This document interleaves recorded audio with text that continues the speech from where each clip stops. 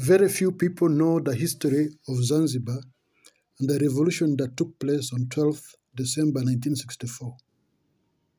It is noteworthy that Field Marshal John Gideon Okello, who was a household name in the 1960s and 1970s, has fizzled out of history books. He was the main instigator of the revolution. Who exactly is John Gideon Okello? In his self-introduction, Okello, Okello indicates that he was born on 6th October 1937 in Anino village in Alebtong, in what was referred to as Lango district. He was the fifth born in a family of 13 children. He lost a brother and six sisters from different illnesses, which included malaria and pneumonia. From Anino, the family moved to Okut village where he continued to reside. During his childhood, he worked as a herdsboy, tending goats and cattle. His attempt to join the army of the King African Rifles was not allowed by the British authorities due to being underage. It has been noted that he was mesmerized by King African Rifles, soldiers returning from Second World War, and hence the desire to join the army. His mother died in 1947 during childbirth, while his father died in 1948 due to stomach ailment. Okello joined Alebtong Church Missionary Society School and later he went to Aloi Primary School. His childhood was difficult as his siblings had to be moved to different homesteads in order to be fostered by relatives. Sojourn started in 1953 when on 18th December 1953 he moved to Soroti where he got a job at a local ginnery at Otuboi. Given the many grievances of the workers, he organized a strike for better pay. On 19 September 1953, he started a small business in Soroti.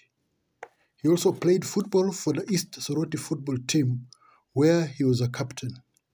Okello later, later moved to Mbale, where he practiced bricklaying and carpentry. In July 1954, he moved to Kisumu, where he worked in the construction industry. In October 1954, he moved to Nairobi, where he worked at a Molem glass fitting factory. He worked at a time when a state of emergency had been declared in Kenya over the Mau Mau insurgency.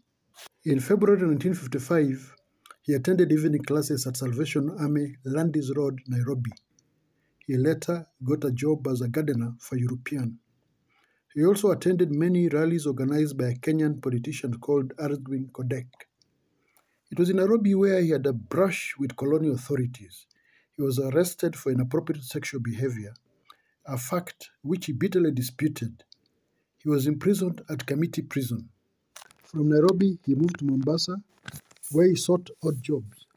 He had an opportunity of traveling to Malindi and Gongoni salt works for a brief period in search of green pastures. These forays were not fruitful. From Mombasa, he worked in Kwale.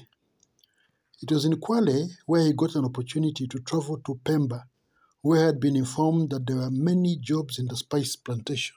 On 21st June 1959, Okello and a number of persons boarded a boat in Wasini to travel to Pemba.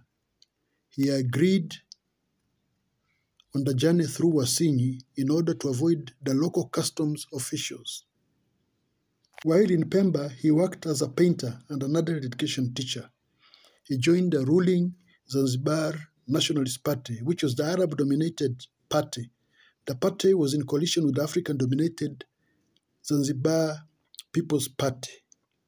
The, the party governed the island from 1961 to 1964 under Sultan Jamshid bin Abdallah.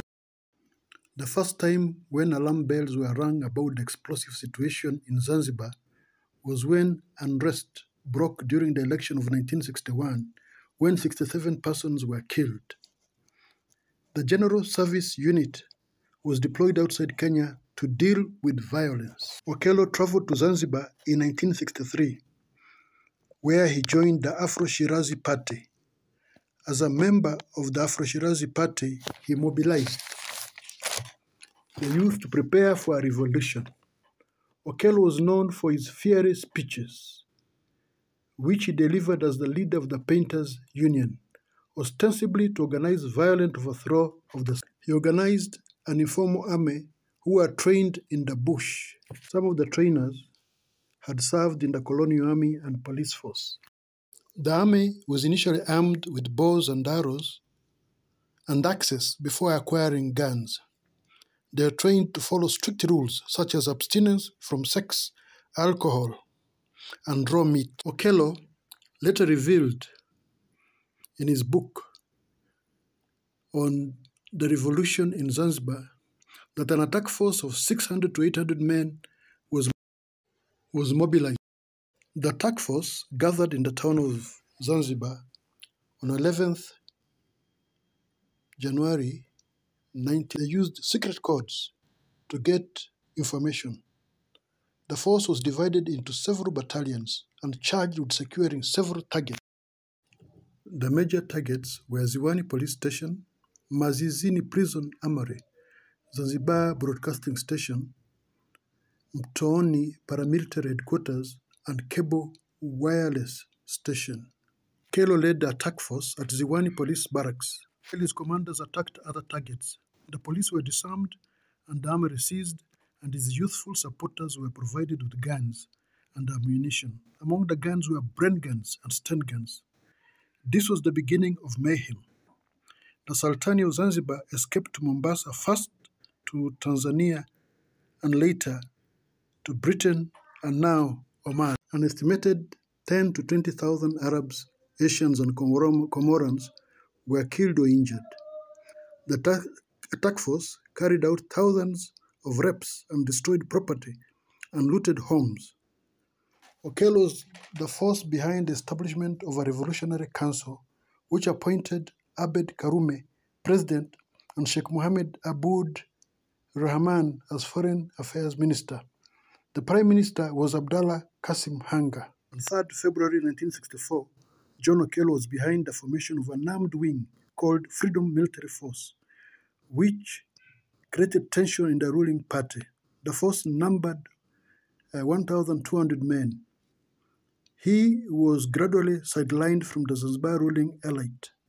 By March 1964, the Freedom Military Army had been dissolved by the Karume administration. When Okello traveled out of the country to Uganda, he was denied entry into Zanzibar from Tanganyika. Tanganyika later deported him to Kenya and on to Uganda.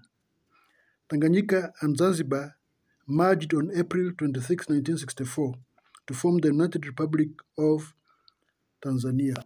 After being ostracized for some time in East Africa, Okello went underground and was presumed to have gone to Congo. After the coup in Uganda, Okello resurfaced and met with Idi Amin on 17th February 1971 in a meeting which was widely covered. He complained to Idi Amin that he had been kept under surveillance by the Uganda General Service Unit and was never at peace. Amin assured him of uh, security. However, after a few months, Okello disappeared, never to be seen again. Riddle concerning his disappearance has never been solved.